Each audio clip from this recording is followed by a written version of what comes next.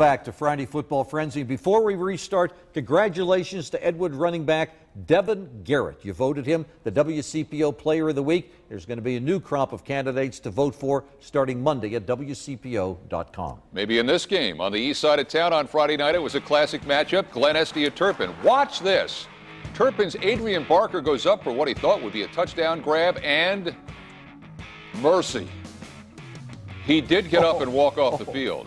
Turpin, which beat the Kings last Friday night, needed a jump start. It was this. Benny Stoll to Jake Silverstein, 20 yards to midfield. On the very next play, Stoll again to Tyler Schnitzler. And that again is another 20 yard game. And now some cinema verite, straight out of a Bob Ross paint by numbers set. It led to this. Luke Bennett with a touchdown run of 10 yards. Turpin stays undefeated. Look at oh, that. wow. Bob Ross paint by numbers. Glen Este, its first loss of the season, 31 17 final. Turpin